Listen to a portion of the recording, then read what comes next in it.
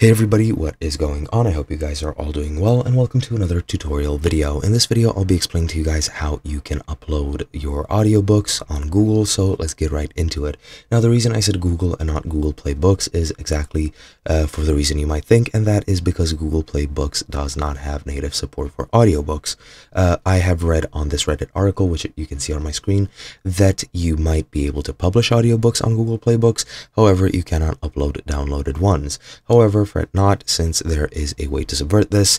Uh, besides Google Play Books, you do have other third-party uh, applications which you can use such as the smart audiobook player. However i would like to keep this just within google's uh, sort of scope. Now uh, even if you can't use google play books you can use other applications. Now sadly applications such as google play music which you can see here in the comments uh, does not work anymore as far as i'm aware. However there is an alternative and that alternative is youtube music.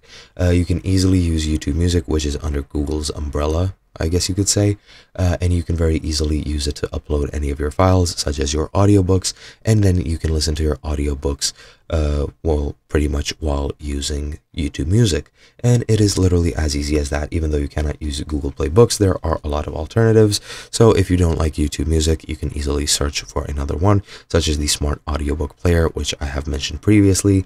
But it is just a matter of taste and experimenting. Uh, I have given you given you one method, and it's up to you to find the rest.